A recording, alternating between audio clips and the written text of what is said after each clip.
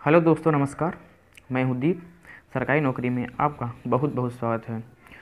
दोस्तों, यदि आपने अभी तक सरकारी नौकरी को सब्सक्राइब नहीं किया है या सरकारी नौकरी का वीडियो पहली बार देख रहे हैं तो प्लीज़ चैनल को सब्सक्राइब करना बिल्कुल ना भूलें, क्योंकि मैं सरकारी नौकरी से संबंधित एक से दो वीडियो रोज़ बनाता रहता हूँ। तो दोस्तों, यदि आप स्टूडेंट्स हैं, एक सरकारी नौकरी की चाहत रखते हैं तो आप का ये आपके लिए चैनल बहुत ही बेनिफिशियल है, क्योंकि मैं सरकारी नौकरी से संबंधित वीडियो इसमें बनाता हूँ। मतलब सरकारी नौकरी का फॉर्म कब आ रहा है, उसकी डेट कब है, कैसे सिलेक्शन होगा, कैसे एग्ज़ाम होगा, कब एडमिट कार्ड आता है एग्ज़ाम पैटर्न क्या होगा मेरिट के हिसाब से होगा या एग्ज़ाम के बारे में होगा, मैं इसी के बारे में वीडियो बनाता हूँ। तो आता है आपको आशा है आपको वीडियो पसंद भी आती होंगी तो प्लीज़ मेरे चैनल को सब्सक्राइब करना बिल्कुल ना भूलें और मेरा साथ दें।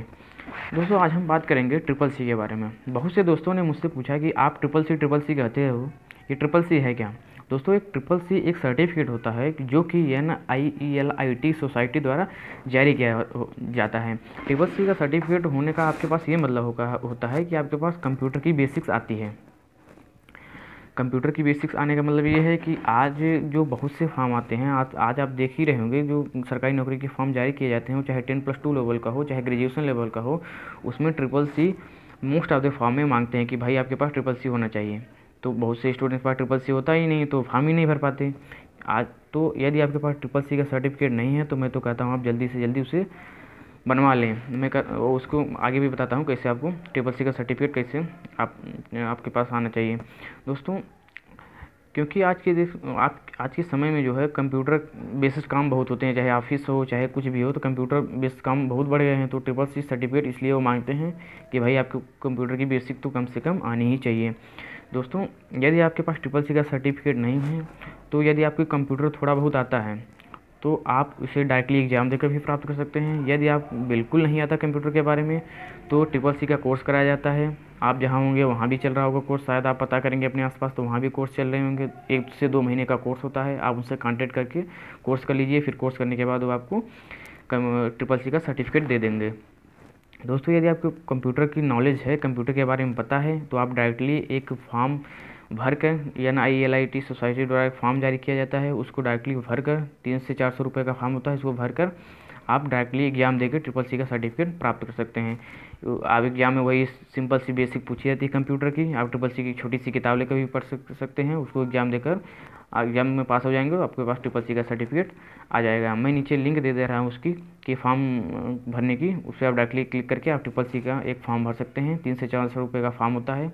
आप भर के आप ट्रिपल सी का सर्टिफिकेट ले लीजिए।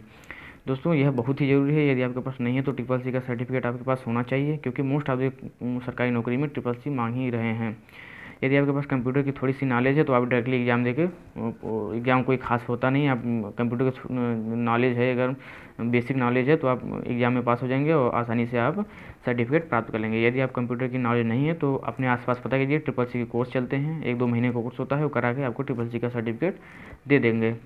दोस्तों, आप, आशा है आपको ट्रिपल सी के बारे में सब कुछ क्लियर हो गया होगा। दोस्तों ट्रिपल सी का सर्टिफिकेट बहुत ही ज़रूरी है। आप इसे जल्दी से जल्दी बनवा लीजिए। या जल्दी से जल्दी आप किसी भी तरीके से, या तो एग्ज़ाम देंगे या तो कोर्स करके आप उसको अपने पास रख लीजिए। आशा है आपको वीडियो पसंद आई होगी। यदि पसंद आई तो लाइक करना बिल्कुल ना भूलें वीडियो को और वीडियो को शेयर करें जिससे अधिक लोगों को पता चल सके। और मेरे चैनल को सब्सक्राइब करना बिल्कुल मत भूलिए। और कोई यदि सवाल या सुझाव कुछ भी है, सवाल भी है, सुझाव भी है, मेरी वीडियो पसंद आती है, ना आती है, तब भी आप कमेंट कीजिए। मैं वीडियो में सुधार करूँगा। दोस्तों, मैं जानता हूँ मेरी वीडियो की क्वालिटी उतनी खास अच्छी होती नहीं, क्योंकि मैं एक सिंपल से मोबाइल से रिकॉर्ड करता हूँ वीडियो। मैं ये चाहता हूँ कि आपको कंटेंट अच्छा दूँ, आपको जानकारी अच्छा दूँ, क्वालिटी इतनी मैटर नहीं करती आपके लिए। तो मैं इसी के लिए आपको भरोसा से कि मेरे चैनल को आप सब्सक्राइब ज़रूर करेंगे। मेरा साथ देंगे, इसलिए मैं वीडियो बनाता रहता हूँ। कोई सवाल हो तो नीचे कमेंट कीजिए, मैं चौबीस घंटे का रिप्लाई ज़रूर कर दूँगा। तो दोस्तों, इसी वीडियो के साथ अगले वीडियो में फिर मिलेंगे। तब तक के लिए नमस्कार।